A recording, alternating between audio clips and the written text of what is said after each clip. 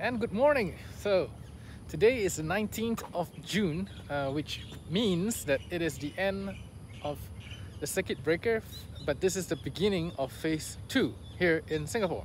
So I'm out, yep, the, just finding a spot to fly, and I'm currently at this location where it's pretty popular with some of the FPV flyers. Nope. That essentially means that the sports and outdoor recreations are now allowed and of course outdoor activities are able to carry on.